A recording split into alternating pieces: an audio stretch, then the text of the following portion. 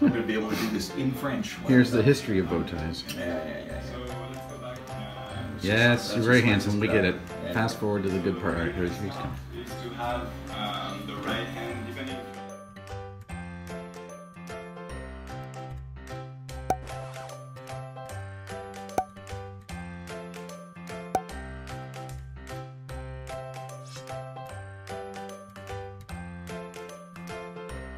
She just announced she's getting married. No, I did not.